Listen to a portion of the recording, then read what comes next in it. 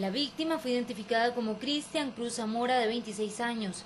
Él conducía un vehículo liviano tipo Toyota, placa 471004, durante la noche de este viernes, cuando impactó de forma violenta un árbol. El fuerte golpe provocó que el joven quedara prensado durante varios minutos, con graves heridas, así como la pérdida de la conciencia.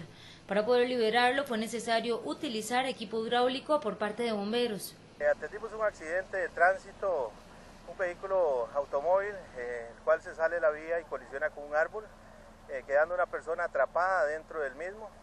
Eh, fuimos despachados por la Oficina de Comunicaciones de Bomberos.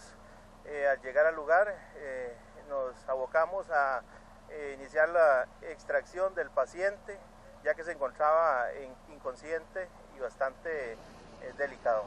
Las razones del choque aún no están claras, pero al parecer el exceso de velocidad pudo haber mediado en este accidente.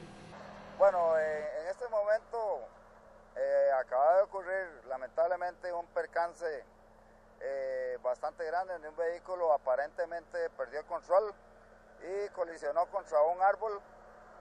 El vehículo prácticamente quedó partido, partido en dos.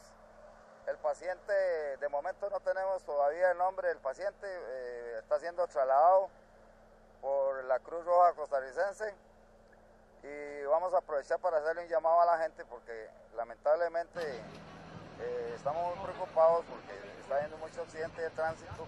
Una vez estabilizado el herido, fue llevado hasta el hospital Tony Facio de Limón en una condición muy crítica.